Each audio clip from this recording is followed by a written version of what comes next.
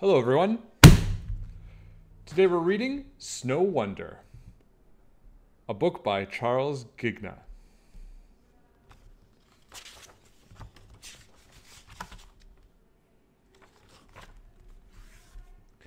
We wake in wonder at the snow.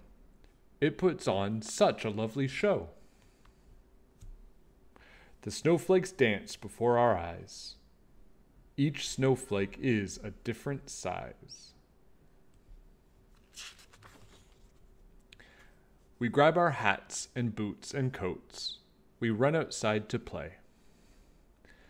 The snow has turned the world all white and made a brand new day.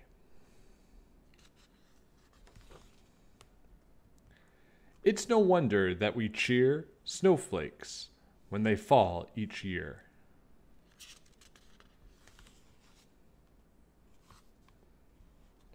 It's no wonder that we slide sleds across the countryside.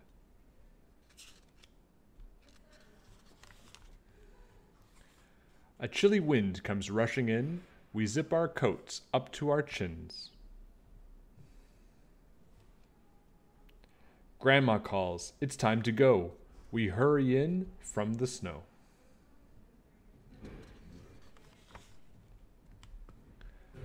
Baking cookies in the kitchen, we help Grandma roll the dough. Cookie cutter, lots of clutter, gingerbread men in a row.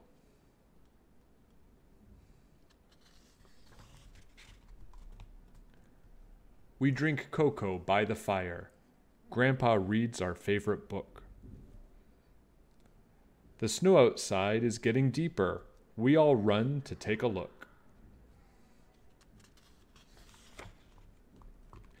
It's no wonder snowmen grow from our garden made of snow.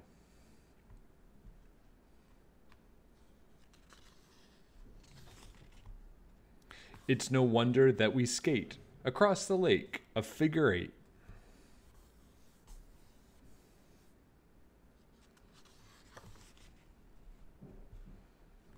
It's no wonder that we roam a moonlit path back to our home.